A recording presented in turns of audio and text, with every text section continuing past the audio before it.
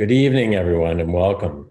My name is Josh Owen. I'm the Massimo and Lella Vignelli Distinguished Professor of Design and the Director of the Vignelli Center for Design Studies.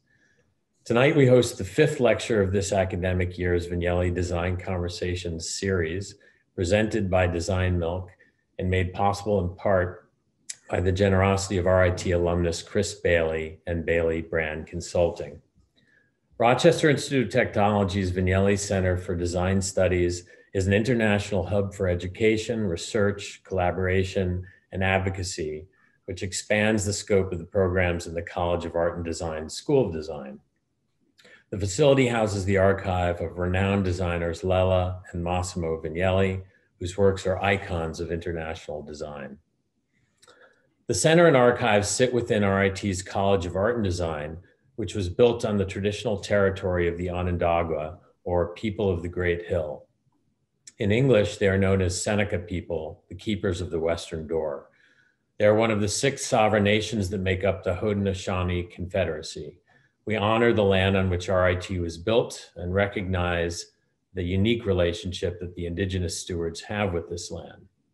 That relationship is the core of their traditions, cultures, and histories, and we recognize the history of genocide, colonization, and assimilation of indigenous people that took place on this land. Mindful of these histories, we work towards understanding, acknowledging, and reconciling. As stewards of history and content, we must acknowledge and seek to learn from our context, bad and good, ugly and beautiful. This applies to the Vignelli Center as with any archive. The Vignellis taught us that design is a systematic framework for solving the world's most intractable problems. If 2020 has taught us anything, it's that while we as humans are adaptable, our societies and systems have major flaws. We're at a point when we need to have difficult discussions and work to create a new balance in the world. In this, design must play a critical role. As the new director, I aim to make the Vignelli Center even more accessible and applicable by bringing in exciting guest contributors from diverse and underrepresented backgrounds who are using design in innovative ways. The Vignelli's Design is One philosophy leaves us with a universal message that design is a lens through which we can envision a more inclusive tomorrow. Before introducing tonight's guest, I'd like to take a few moments to set the stage out of respect for our presenter, participants will be muted for the duration of the event. We do encourage you to enter your questions that you have for our presenter using the Q&A feature, and we'll try to get as many of them as possible answered during our closing Q&A segment. Thank you to Jace Rivera and Samantha Payne, who will be our sign language interpreters tonight. Our esteemed guest this evening has been delivering design lessons to industry and to the classroom for many years making her impact significant across the built environment and the minds that continue to shape it. I had the pleasure of meeting Marissa many years ago when I was a graduate student at the Rhode Island School of Design, where she was a young professor, and I followed her career with great admiration ever since. Though Marissa has recently been celebrated by magazines such as Luxe Interior and Design and House Beautiful as a designer to watch, her career speaks to a long-standing dialogue. It is a dialogue between design and craft that she knows has been essential in determining success. The voice Marissa brings is fueled by a deep understanding and respect of furniture history and construction. But the action she takes is contemporary. As an experienced design director working for multiple brands throughout her career, she's become highly fluent in recognizing the varying design needs from custom studios to licensed global brands.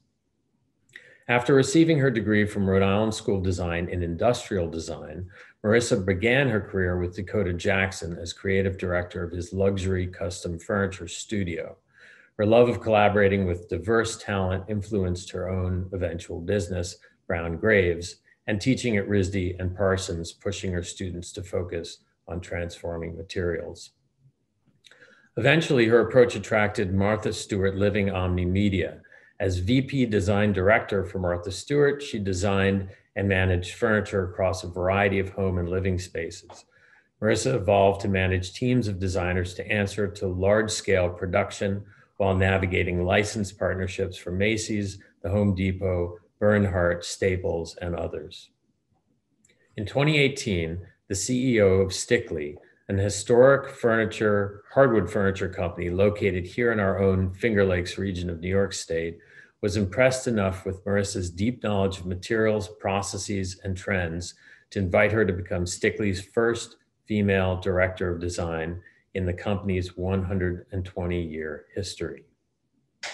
Since that historic appointment, Marissa's worked closely with hardwood specialists and craftspeople on the factory floor to realize hundreds of pieces she's personally designed, many of which continue to win industry accolades, such as House Beautiful, listing her as a 2020 visionary. Outside of, the, of her work in industry, uh, Marissa has long maintained a home in Brooklyn with her three girls, filmmaker husband, and their dog, who might make a special appearance tonight. Background, we don't know. They make annual trips to North Pitcher, New York, to a pragmatic farmhouse that has been in her family for 180 years. In an age of digital tools and shortcuts, Marissa still embraces the tactile respect for craft that exceptional form requires.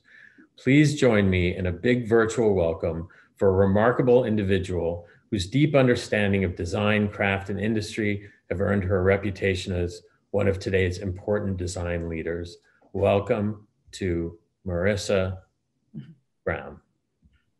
Thank you, Josh, so much for that introduction. And I want to thank you for all you're doing with the Vignelli Center and connecting different design voices in the field. Um, it's really incredible what you've done. So thank you.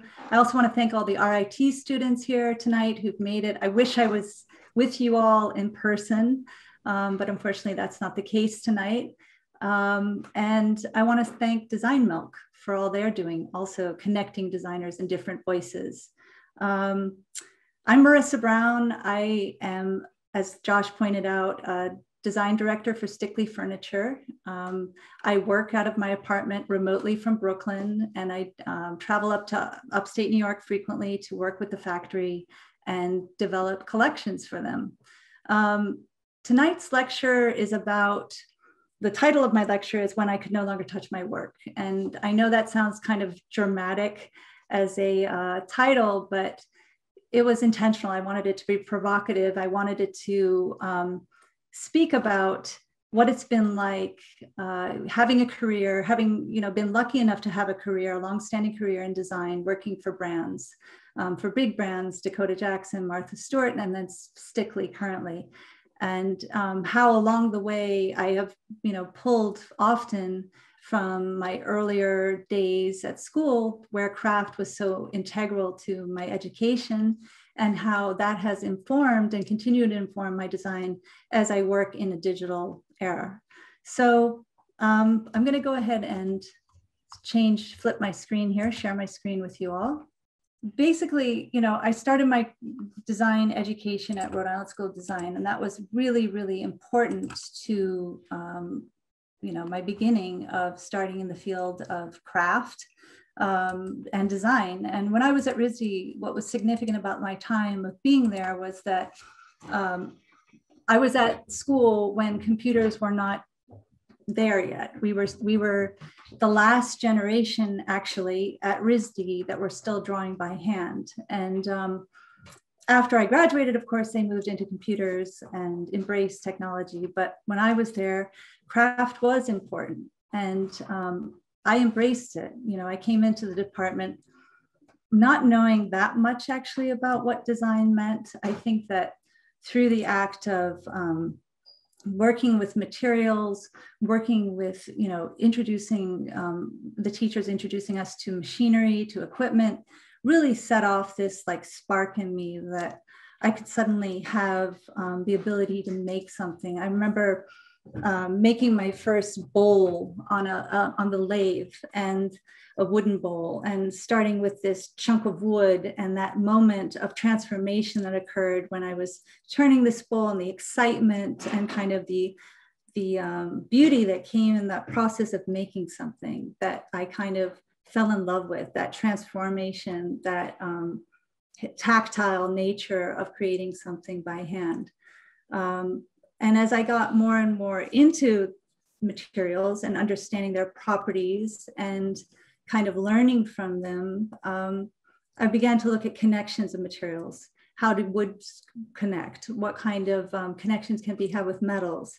I started to research more, learn about wood, the different variations and, and qualities of woods from um, a grain standpoint and from a machining standpoint that you could reveal a quarter sawn wood or a cathedral cut and the subtleties that were occurring in those materials. Um, you know, I I think that I didn't actually really understand entirely what design meant at that point. And I think that craft truly um, gave me voice or gave birth to design, which is kind of interesting idea. Um, and it's something that I forever um, fall back on in my career designing for Stickley, um, that I've always returned to these early days of um, excitement and the emotion that went with that. Um, there was a point in time at RISD where I didn't want to draw. I didn't like the idea of making schematics. And today, now looking back, it seems so crazy that I was so uh, anti drafting or CADing. And, um, but I, I realized actually a teacher gave an ultimatum in class that you couldn't enter the woodshop unless you actually had a drawing. And I remember that moment of thinking, oh, I don't know how I'm going to do this. But I think what I was struggling with was that I felt that by becoming so um, technical, I was going to lose the emotion. And um, it's interesting now, fast forward to uh, where I am in my career now, and how I embrace technology, but I'm always trying to, to, to incorporate that emotion that I experienced when I was experiencing craft. Um, taking this one step further at school, Providence was located in an incredible community of artisans outside of RISD. So as I understood more and more that design was much more than just what I was doing, you know, in the shop. Um, that I was starting to develop actual designs that I needed to reach out to fabricators, and um, I had this, you know, uh, wonderful respect at that point, um, working with metal spinners and and um, uh, metal shops where they were doing beautiful TIG welds and um, and using those resources, but also having a complete admiration for people who had made their lifelong um, mission just developing their craft and developing their skills, and um, how inspiring that was. But not only that, how design is about communication and um, often you know a drawing helps facilitate that communication and that dialogue um, I am going to go ahead and flip my screen now because as I uh, as I moved into, I already did, sorry. Uh, as I moved into, um, you know, a career in design, I knew that I was going to have to work in a company that uh, would allow me to keep on, you know, exploring all the things that I learned at RISD and that passion that was in me that I really wanted to continue.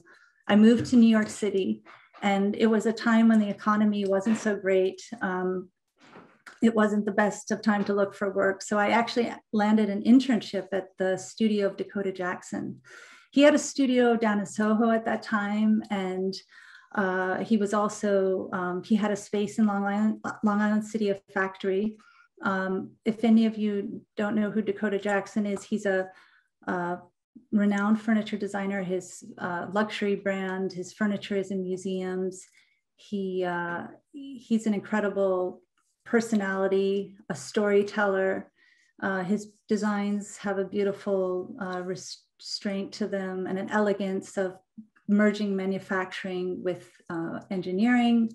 Um, it's less about the process, it's less about the final product in his studio and more about the process that you went through.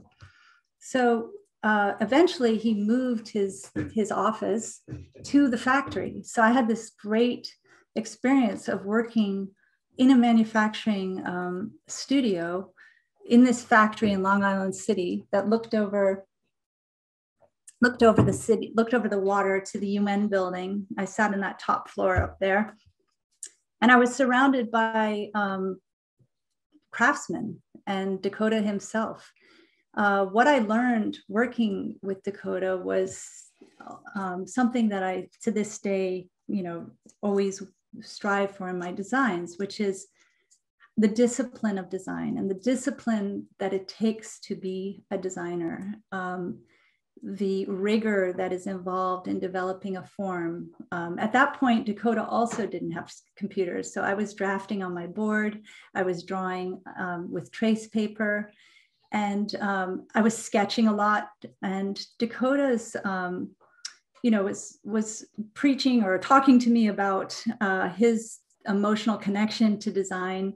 He was inspired a lot through dance. Um, he was a part of the uh, the avant-garde scene in the 1970s down in Soho, um, where there were performing arts, music, uh, all of this culture coming together, and he was a part of a part of that, and that played, played a big part of who he was and what he how he talked about design, um, dance being a big part of that. So he he was the one who taught me when I was starting to draw on the paper and learning how to sketch or you know, fine tuning my drawing skills, that the moment your pencil, the gesture occurs on that paper, that sets the trajectory forward and the movement of this object that you're creating. And that object then goes into the shop, it goes to the hands of the, the craftspeople, and the movement and the dance that's created by um, making these objects in the shop. Then the, the object comes back to you your eye travels over this form. And then the last part, part being the experience of the body and coming into contact with this piece of furniture, if it was a chair or whatever. So these were very lofty ideas for me as a young designer. And uh, at first I wasn't sure, um, you know, where it was all going, but I, I enjoyed that dialogue. I enjoyed the, um, the discipline, as I've said. I enjoyed trying to perfect my skill. It's almost going back to music or uh, a musician perfecting their skill or their craft, or a woodworker learning how to, you know, master their craft. Um, so design suddenly became much larger for me as um, as an opportunity and something that I could explore. I, I found ways of working around um, ideas. I think this is something that we all can learn from in our careers that, you know, when you're doing something day in and day out, you sometimes have to be resourceful and think of different ways of articulating a form. So I started gravitating towards models. Um, I felt that the expression of manipulating materials again allowed me to come up with ideas that maybe I hadn't thought of before um, I, keep in mind we didn't have there was no instagram. There were we weren't using inspiration images at that time. It was very emotional the process. It was very much about having a gut feeling about form and and how you could um, fine tune it and commit to it. That was one thing i learned at dakotas was how to commit to a form through design um, you know, when I when I was at my board with trace paper and um, drawing, there you had to commit to that design. I've know I know that I experience now today. I use computers all the time to design my collections for Stickley. That there's this tendency to be able to do so much so quickly and iterations after iterations, which is part of the design process because design is about um, process of elimination and finding, you know, finally getting to the essence of what you're trying to get to. But I, I think early, having early on in my career that ability to stick with something um, because it was on my board. I couldn't keep crumpling up trace paper and having this trash can filled with trace balls everywhere. I had to commit and it taught me a, a, a valuable lesson. Um, the wonderful thing about working at Dakotas was that I could leave, I could get up from my desk at any moment and step into the shop. And there was an incredible, um, you know, I made friends with all these woodworkers and craftsmen. I had the ability, had the opportunity, I should say, to um, engage in conversations about what they were working on and learn from them and um, understanding the value of um, the handcraft in manufacturing and how to um, how to hold on to that craft even though you might be doing mass production at dakotas we were doing more kind of one of a kind pieces um, but there came a point where uh, he he was actually the first um, American designer, uh, smaller scale designer doing, uh, who bought, who purchased a CNC five axis router. And all of a sudden that opened up um, a lot of different opportunities for Dakota in the shop. So the chair on the left is one of his iconic chairs. It's called the library chair. It was commissioned by Ingo Freed for the San Francisco Public Library. And um, the CNC helped facilitate uh, the mass production of those parts. But at the end of the day, this piece had to be assembled by hand and look effortless. Um, so that was something that we we work towards often. Um, something about Dakota that also came from his past that affected the way I worked and influenced, inspired me was he um, comes from a family of magicians. His father was a magician, and Dakota was trained professionally as a magician. Um, he talked to me a lot about the illusion of creating a trick, a magic trick, and what it would take to go through the orchestration and the, the body movement and the um, practice, the endless hours of practice to make this magic trick or illusion look so effortless. So that was something that we tried to work into the design that the just, you know, although these pieces involved very complicated engineering and manufacturing techniques, they felt effortless and they felt, um, you know, just that they had that quality to them. And that is something also I bring to Stickley, which is trying to make the product look easy, that it, it, it, it's there because it was meant to be, I guess is what I'm trying to say. Um, I loved learning from the factory um, the skills of the craftsmen and the fixtures that would be made. You know, there's um, a lot of uh, incredible thought that goes into um, fixtures and jigs to make production easier and that whole process. And I love seeing that kind of um, mindset in the studio. That's a view from my desk, um, looking out over the city. Now, I think Long Island City is completely, I don't even know if you could see that view anymore, um, but the Silvercup studios were to the right there. Um, it was quite extraordinary experience being there um, these are some models I made at that time. And I, I'm showing these because I want to say, you know, how important models are to this day in my career. I used Rhino, I used 3D modeling, but I've never had that same um, feeling of what happens when you make a model, that, that there's things that occur that you could never think of in 3D. Um, for example, using the fluorescent acrylic, and kind of just playing with that material and, and wrapping it in the skin and then having these metal components um, intersect that skin. This was actually designed for um, an exhibition at the Cooper Hewitt Museum called Skin. Um, so another, these are some more models, um, little fun sketch models that came about from my days at Dakota's. Um, but just the ability to, to um, to explore materials and come up with forms that I wouldn't have thought of, like I said, necessarily um, in the computer. Uh, the little um, upholster chairs came from uh, playing around with the upholstery machine and working with the upholsterer who trained me how to use this industrial sewing machine to make these little models, which was actually quite scary at the time. Um, I always loved the model down below, uh, specifically because it's made from uh, packing tape and cardboard. But what that model did is it informed me of something that it could be. It gave me something, a feeling of like, oh, what if this became glass? You know, what if what if all those cells could um, transfer light? And as the day progressed, this this piece of furniture would change with the light. So that for me became um, such a wonderful experience working at Dakota is that he he allowed his studio, his designers to to take these kinds of, you know, go down these exploratory um, paths and, and engage in that dialogue, um, discovering.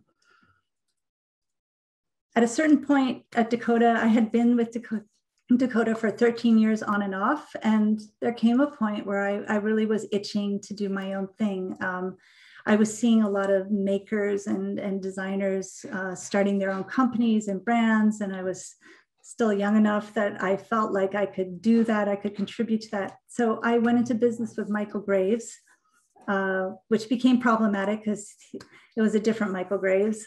Um, and um, we worked down in Tribeca. We rented space from an architect and we started uh, doing our own production, small batch production furniture and showed at the furniture fair. And um, some nights we would get outside the studio and use the router. Uh, I'm sure we drove everybody crazy in Tribeca, but you know, you kind of get resourceful when you don't have a shop anymore. And it's amazing what you can achieve with uh, a router and a Dremel tool. Um, we also um, launched this bar stool at that time, which was an exciting project. And um, we sold them. We got a lot of press. We were a part of the design scene uh, where David Weeks and Jeffrey Bernett and all these young makers were kind of making their name and showing their work at this gallery called Totem Gallery. And at a certain point, our bar stool ended up uh, landing a spot with James Earl Jones for a Bell Atlantic ad. And that was so thrilling. You know, walking down the street in New York uh, for a while, these were on billboards, they were on the sides of buses. And I had that feeling of like, wow, we did it. We, we actually made something that, um, you know, got, was recognized and actually made us some money. It wasn't a lot. Um, I'll say this, that going into business with a creative, it's probably not the smartest idea. It's probably better to go into business with um, somebody who is uh, more business minded. So, um, but it was a fun, fun experience. After that, I, you know, at this point, I'm starting to, I'm, I'm married now and I, I'm feeling, I wanted to have a family and I really needed more stability in my life. And um, I started to look around, but at that time, I actually got a call to go to Martha Stewart to have an interview at Martha Stewart. And um, I wasn't sure if this was the right thing for me. I mean, I really, coming from Dakota, coming from having my own company to a huge brand, a huge corporation like Martha Stewart, um, took some consideration, but I also had rent to pay and uh, a family had started. So I, I interviewed on a rainy day and it was the worst kind of day you want to have an interview in New York City, riding on the train and getting there. And, uh, but I landed the job and it was um, kind of this amazing experience when I got there. There was uh, so much talent at Martha Stewart. Um, she surrounds herself with the best talent in the industry. And there was a, an incredible energy there. There was an incredible, um, you know, uh, just everybody had something to contribute from some different kind of background. So the the interesting part of her company is that it was an omni media company at that time. Um, she was, you know, designing into these categories of good, better, best. And when I say omni media, I say that she was, she had all the facets of her business. She had the editorial content, she had publishing, she had TV, she had the radio, and then she had merchandising. So I actually was involved in the merchandising side of things. And um, I was exposed to uh, a lot of different categories that involved wood and metal. So kitchens, bath vanities, lighting, um, hardware, anything that was basically related to wood or metal came from my design team. And I was actually at this point, I was brought on at Martha Stewart to actually design her furniture with Bernhardt. And I thought that was the extent of it when I started because I had had um, my twins at that point. I had three daughters, and I um, I thought I could only do maybe three days a week, and probably that's all I can do. But I quickly moved as Martha's business exploded and the design scene at that time was exploding, the internet and Instagram and everything was starting to um, expand dramatically. I, I um, came on board and, and I'll, I'll say that it was a, I had this wonderful opportunity to work with my team of designers who were, um, there was just this great energy, as I pointed out. We worked on a lot of categories that involved craft and strategy. And that is the biggest difference of working for Martha Stewart, that we had to do these incredible pitches because I was starting to work as her business exploded and became more and more um, popular in the um, industry, uh, big box stores started knocking on the door, and Martha started doing all these partnerships. So she had partnerships with the Home Depot, and then eventually with Staples, and um, many others, Macy's. And um, this would have been like the type of presentation that would have taken place for one of those partners. This is the clear story when you would have entered Martha Stewart. Um, it was very, you know, exciting and dramatic there was so much content to pull from. Um, it became, it, it was a company that was inspiring for me because I was, I had kind of like handed over my, you know, apron, the shop apron for a different kind of identity at Martha. Um, I was surrounded by women. Uh, I was surrounded surrounded by um, all these ideas and um, could pull from many different parts of the company for inspiration. It showed me what it was like to be a part of a brand and that brand message and how important it is to be a brand, and also how important it is to pitch an idea. Um, you know, everything in merchandising filtered back to the content from the books to the and um, for example the island to the left was designed from my team that would have come in, come from my team we would have considered all the aspects of what Martha would have need, needed in a baking cart and implemented that into the designs. Um, but the layer, the involvement here became more about pitches and how much effort and energy would go into conveying an idea and conveying an idea to non-creatives. Um, I think this is a really important point to make that as you design in your career, you will encounter that moment when you have to share your work with people who are not in the field of design. And how do you communicate that message?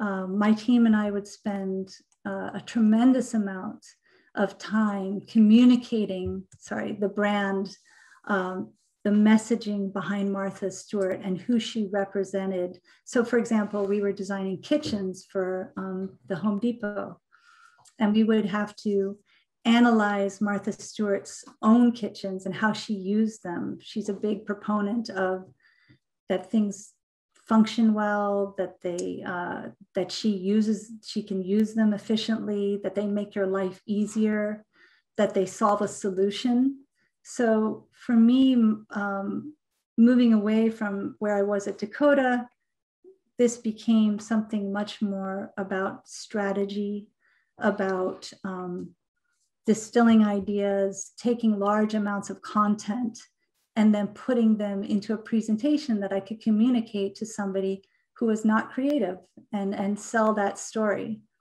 Um, this would have been some of the kitchens that we uh, produced and made from um, for the Home Depot.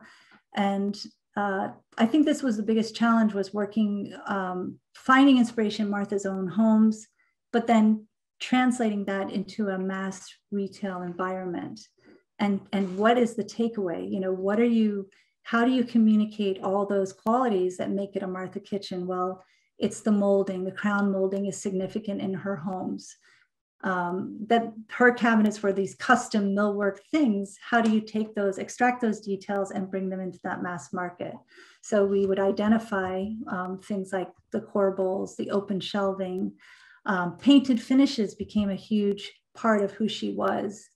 Um, and also just identifying um, in these good, better, best categories themes under contemporary, under traditional, under country, and really having to um, be strategic about who our audience was, who who this message was going to go to.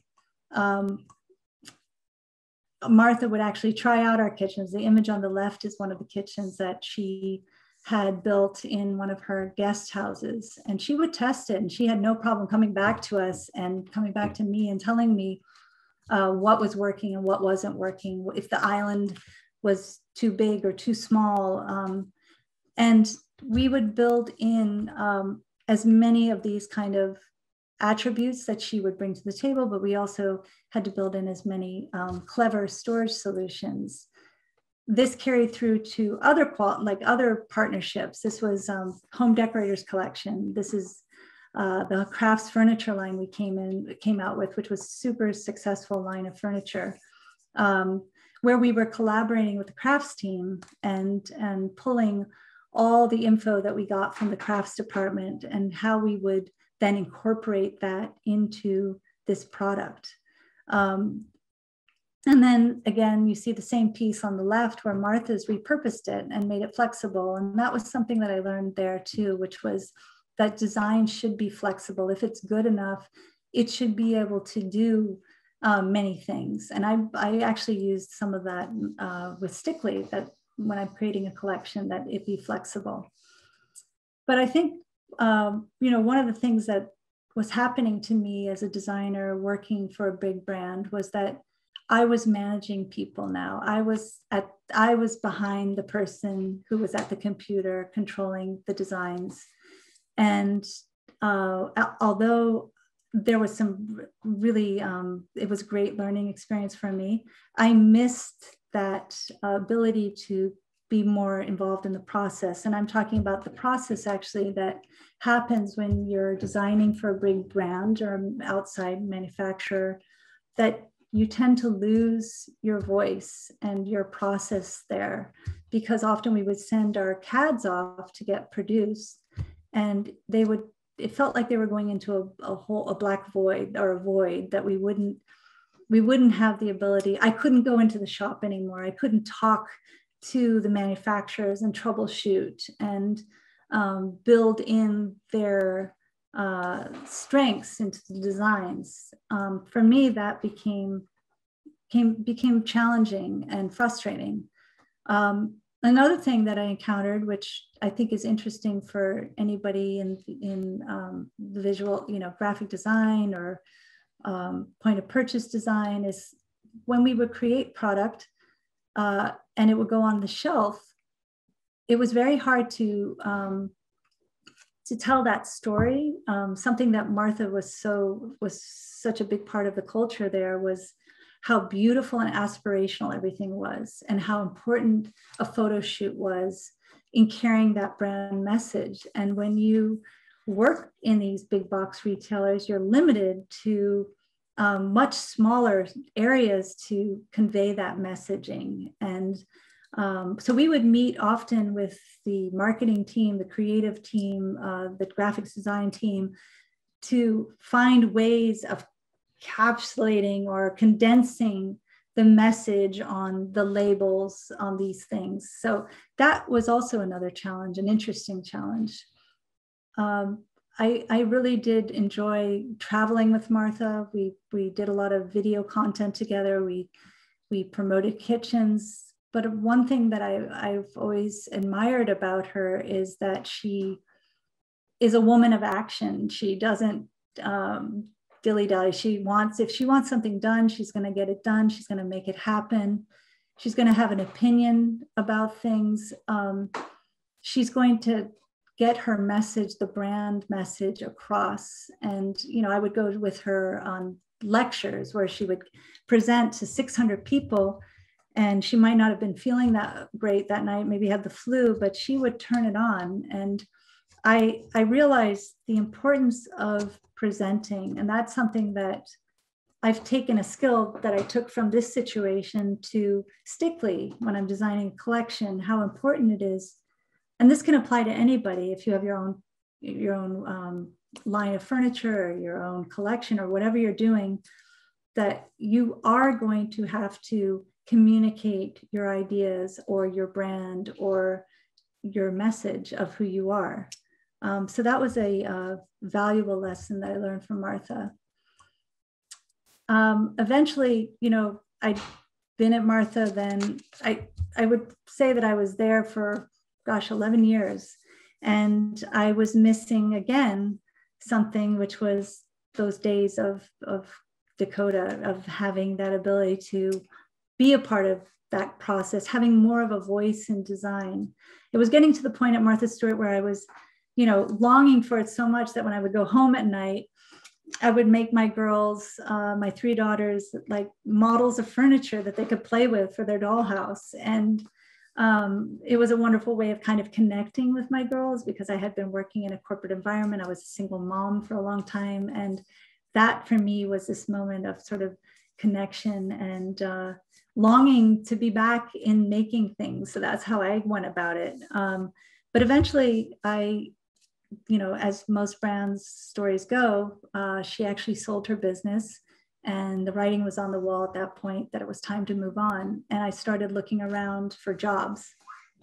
And, you know, I have to admit, at this point in time, I was a little disillusioned by the industry. Um, I'm older now, and I was feeling like whatever I was going to embark on, I needed it to be really special and something that really spoke to who I was at that point in my life, um, longing to go back into design and and um, exploring my craft. So I actually cold email, not cold call, but cold emailed Stickley, and the president uh, actually of Stickley reached out to me and um, we had the opportunity to meet down in High Point. High Point is where it's sort of the furniture capital of the US, and that's where every October and April we launch a collection. And um, that is where I'll be launching my sixth collection with Stickley next month, actually, for pre market. And then in June for market. It's been messed up the schedule because of COVID. But I went to to um, High Point. My husband encouraged me to fly down there, meet him in person, which was the best advice ever. And I walked the showroom with um, the president of Stickley, and we we walked through, and I was struck by uh, the furniture that was made from you know the mission furniture from the Stickley brothers. Um, this is where you know there's this company. Stickley is a 120 year old company they uh, have a factory in upstate New York, not too far away from RIT, where they have 600 craftspeople working day and night. There's a day shift and a night shift. But they're a company that's rooted in this incredible history. Um, Gustav Stickley and his five brothers were um, makers in the 1800s, 1900s in Binghamton, New York, so near near Manlius, near Syracuse, that area, who were in pioneers in the arts and crafts movement. So they were pulling all their uh, inspiration and, and excitement from what was happening in England in the arts and crafts movement with William Morris and John Ruskin, the writing of John Ruskin. And they pioneered and came to America with their message of what uh, American craft could be. And their work is very, to this day, um, very pragmatic, very pure. Um, you're celebrating the construction, the handmade. Uh, you're celebrating the clarity of the finishes and the beauty in the wood. The wood of choice back then, and to this day, actually, is for the arts and crafts furniture is American white oak. That's sawn, and you get that beautiful ray flaking of the grain. But this history resonated with me, and I had learned about Stickley at RISD, and I had seen Stickley furniture at the Met. So for me, this was a, a just so it felt right, and it felt um, like there was some wonderful thing happening, or that could happen, that would inspire me maybe to do something great for them. Um, I also was at a time where I, you know, like any job, you have to think hard. Is this the right decision? Am I making the right choice? And you know, I went back to the city, back to New York after my trip to High Point, and I was in their showroom. And I remember just wanted to look at you know the designs and the furniture and just absorb things and i came across this um, cabinet and it drew me in and i thought it was quite beautiful. And i walked up to it and actually had some of my father's cookbooks. My dad was a, a career writer for time life books. He wrote these iconic um, foods of the world series cookbooks. And uh, it was incredible because my dad had just passed away that week or soon, you know, at that time in my life. And that was the moment that I felt there's some kind of connection here that's that's that's good, um, and it has been good. So uh, the manufacturing facility is amazing. I travel up there once a month or more and um, have that dialogue with the engineers. Um, the bed, the piece on the left, upper left, is actually one of the beds that I've designed for uh, the Park Slope collection. Um, but again, I'm, I'm back to my craft. Here's the bed on the right um, being worked on. But it's just been wonderful to experience um, the ability to design for a company that has integrity, is working with solid wood construction, which offers a completely different sensibility. I'm able to sculpt the forms more. I'm able to um, create pieces with integrity that have a lifespan that I enjoy. Um, the image on the right is kind of interesting. That was the first gift I got when I started there, which was they machined, the, the craftsman machined um, all the little increments of the spindles because spindles are such a prevalent or iconic look for mission furniture that I could have these spindles here when I'm drawing at my computer and they've been so helpful because they actually help me um, with proportion and scale. Uh, one of the exciting things I'll say of working on collections for them has been seeing my designs on the factory floor and seeing that they are resonating with the customers and um, there's something so thrilling, exciting about that. So the pieces on the upper left are some of the Park Slope sofas that came out of that first launch um, and just the, the excitement that goes with that. I still haven't given up on sketching and the importance of sketching. I'll say that when I'm on the phone talking to somebody, I'm usually doodling on post-its or drawing on a napkin. I'm constantly thinking about design. I'll say that having started at Stickley, um, the process is, of creativity, creativity is endless. And as a creative, that's something important to remember because um, you never will run out of ideas. So it's better not to think of think of your ideas as precious, but to just keep moving forward and creating and learning from each experience. I still go back to working on foam core models even to this day um, just to work out ideas. And these are quick, quick sketches. They're nothing, they're throwaway. I think I just tossed that in the trash after I got what I needed to get out of it. But, um, and I also use obviously technology, but I still go back to those, those early days at Dakota to inform me. I love building into the details. These are pieces that I launched at Stickley, the Walnut Grove stool on the left, and then some new pieces that have come out. Um, I love building in the handcraft into the furniture that I design for Stickley. I love leveraging the craft of who they are as a company and celebrating the joints and, and um, making those connections artful and so that you feel when you buy a collection that I've worked on that you feel that it was made for you, that it has that kind of hand um, hand machine handmade quality to it. Um, connections like the one on the left are difficult to do. I mean, I push, I push Stickley. I mean, some of the I've met some of the woodwork on the factory floor have made some of my designs and they don't really like me that much. So, but some of them uh, do embrace what I'm doing, obviously. So um, but I love building in moments like even the uh, hardware, the wood knob, and the you know the experience that your hand comes into contact with that knob and that story, that tactile story, or the integrated pull on the cabinet below. Um, you know, when I'm designing a collection, it's not it's not easy. I'll say I, I have these moments of utter despair where I don't know where my thoughts are going or where I'm going to end up. But it usually hmm. starts with one idea, one motion back to my days at Dakota, where I strike something where two lines uh, have meaning in my computer that suddenly offer something to me that speak to me and excite me and, and drive me to create this form. Um, this chair would be an example of that aha moment where I had played with this reverse taper, transitioning into that cap rail, and that became signature to the Park Slope collection. Um, you know, I was out of the gates, I, I was asked to, um, when I first started there, to design in the mission style.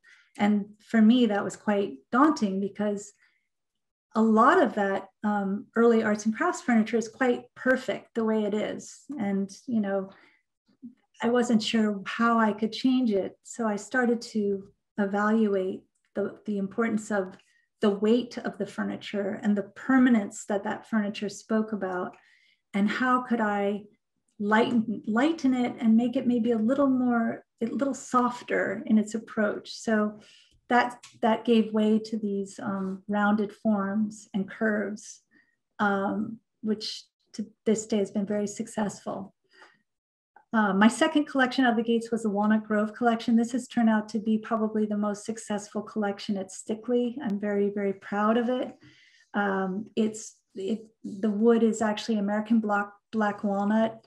And um, I think what, you know, when I was working on this collection, I was very much uh, concerned with how all the proportions play together. And that to me is the art of designing collection is how do these pieces relate? How do they play off of each other to create um, connections. And I do that through the details. This is the Walnut Grove upholstered bed and the dresser um, and nightstands. But I try and make connections, as I said, through the details and um, bring that sense of handwork, that there's a lot of care that goes into these pieces, so that if you were to just buy one of them, you would feel like you bought something special and unique. Um, this is the Walnut Grove uh, table that expands with leaves. The credenza in the background can be used as a console or can be used as a server. Um, so again, the flexibility is important in the designs I create, the usability. Um, not everybody has space. Um, so I think about that also coming from an urban um, place, living in Brooklyn, where you don't have a ton of space to incorporate furniture.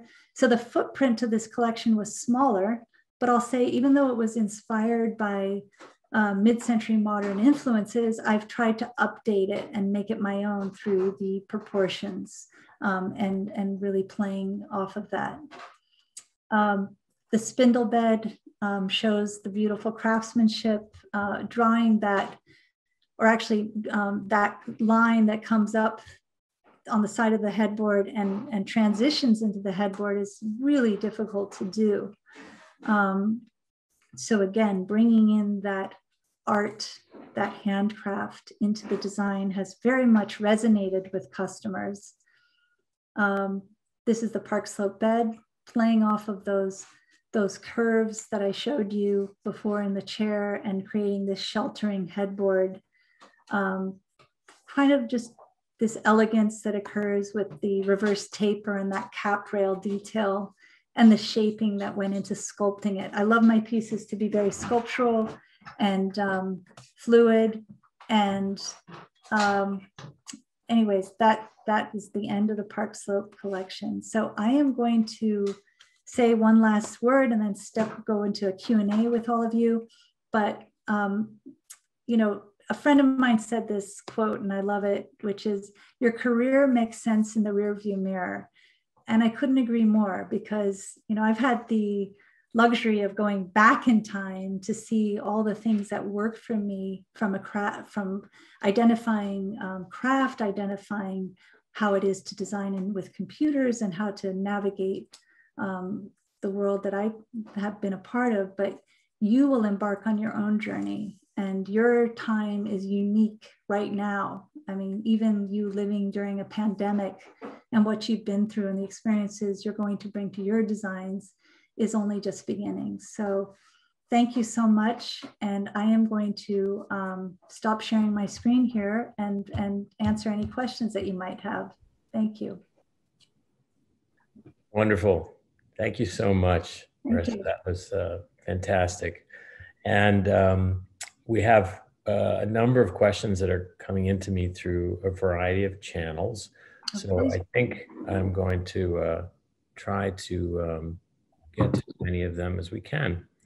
Uh, the first one that I'm seeing says, um, how do you define success and how do you know when you've achieved it?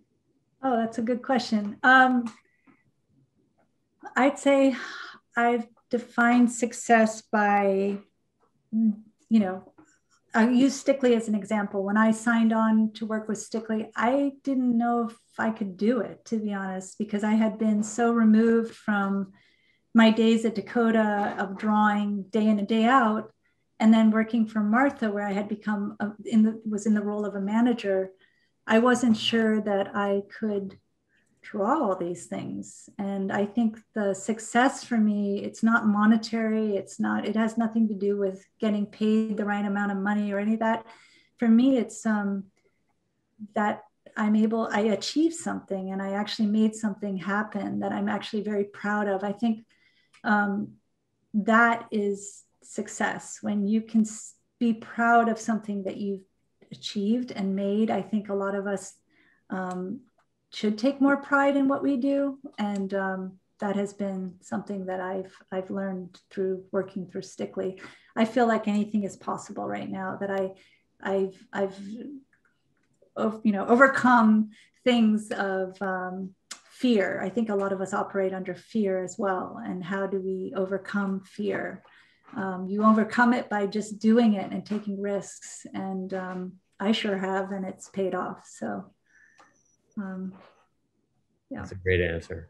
Um, there's a related question here about um, determining financial value uh, in your work, and I, I, think that's kind of an open question relative to you know how you um, assert uh, cost in the in the different projects that you've done. I wonder if you could speak a little bit to that.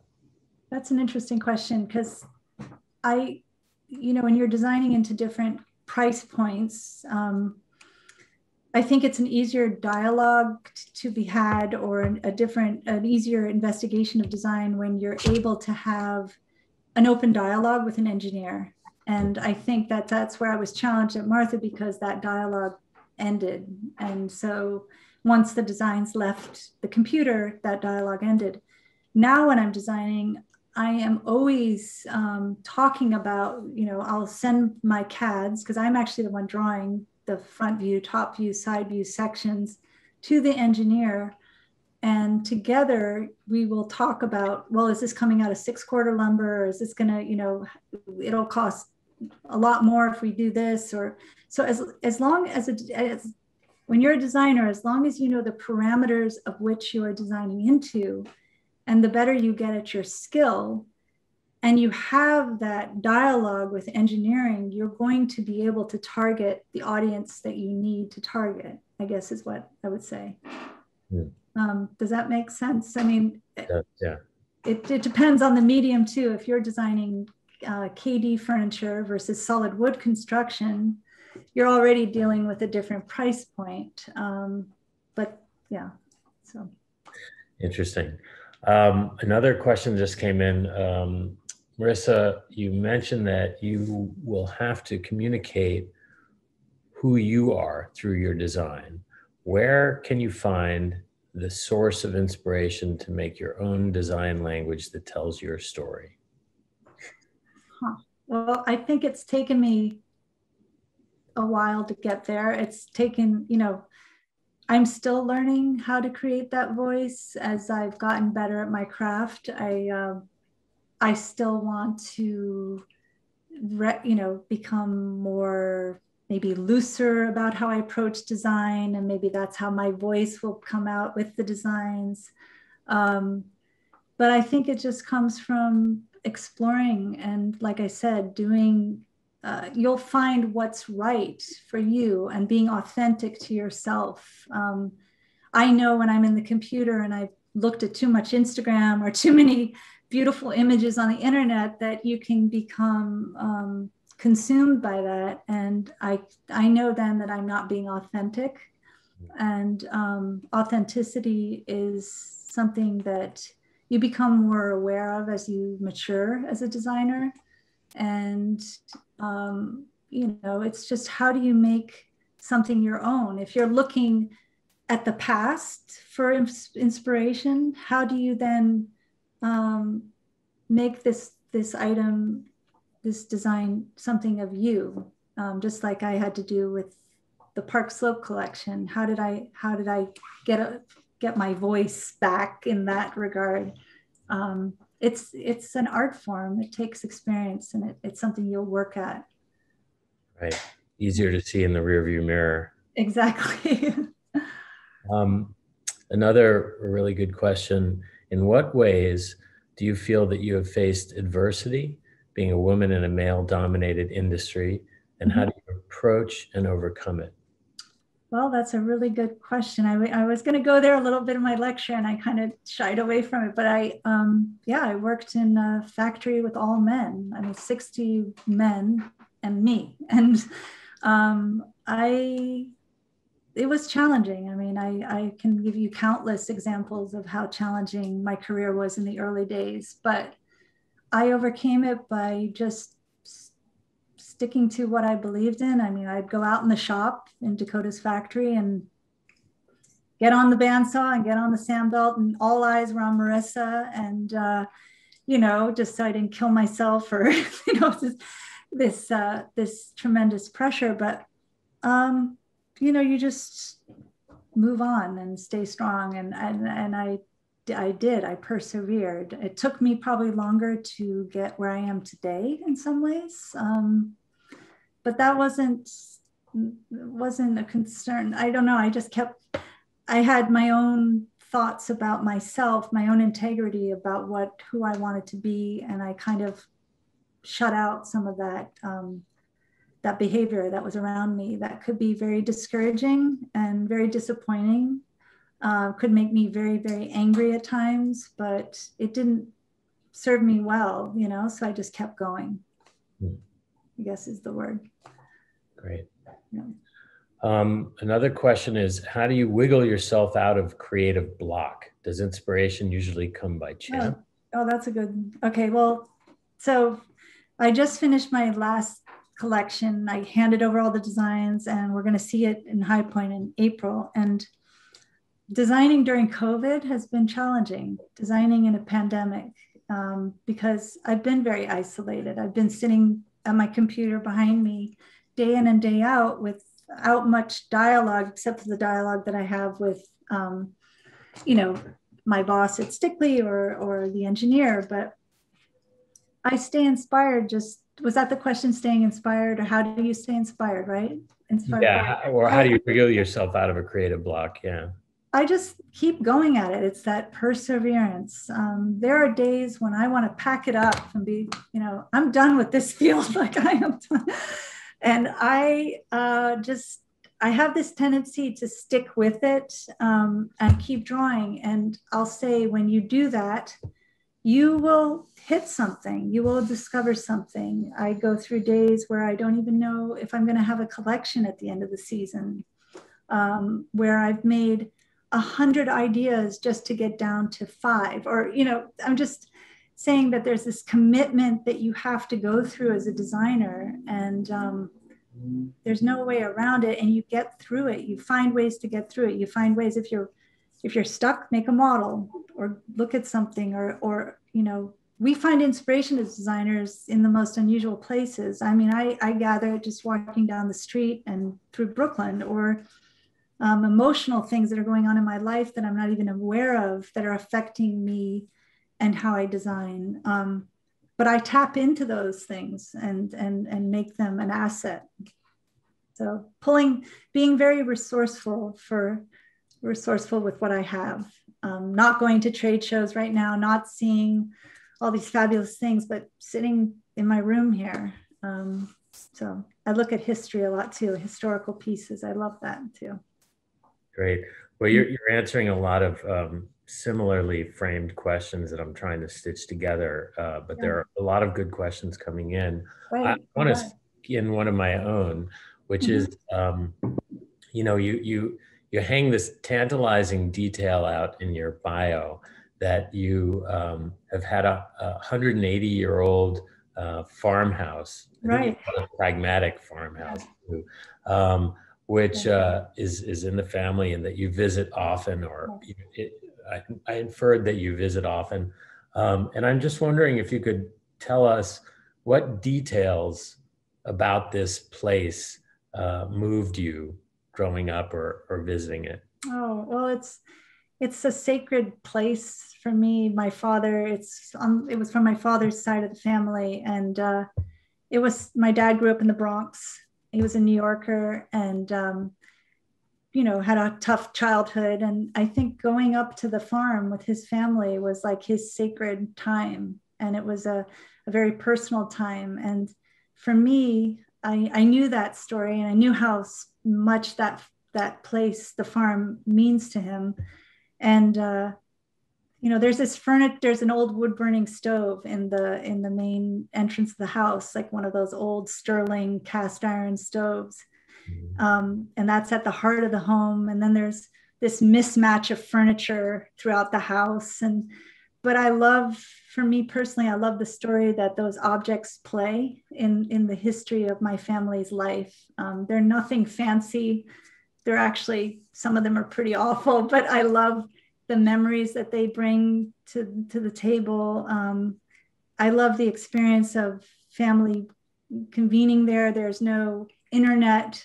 You know, it's almost like a time capsule um, in the attic or diaries from my relatives and um, bonnets and old dresses. And so there's a rich, rich history there that I will always associate with um, my dear dad, who I love dearly and, and, and I think of when I'm up there, but also just the happiness and um, the struggle that my family went through living there. Um, my Aunt Ella lived in this house all alone, and the long winters upstate and being in that house alone and her only joy was actually getting her mail you know going out to the the hitching post to get her letters so so there's this rich rich story of that of the farm and i will forever be uh, grateful for that um, grounding in my life you know so well that's wonderful thank you for sharing that with yeah. us um, I think we're we're about out of time, um, but I, I do want to thank you again for this fantastic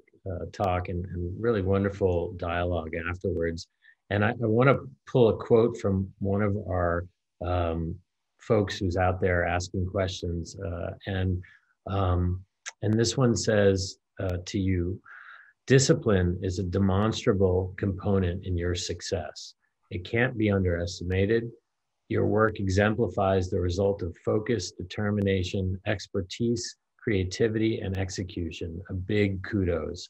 I oh, couldn't have said that better myself, and I think this is a great way well, to. Thank you so much. I really appreciate that, and uh, I would love to come up to RIT or give a tour of Stickley when we have uh, that opportunity, and uh, anytime. So.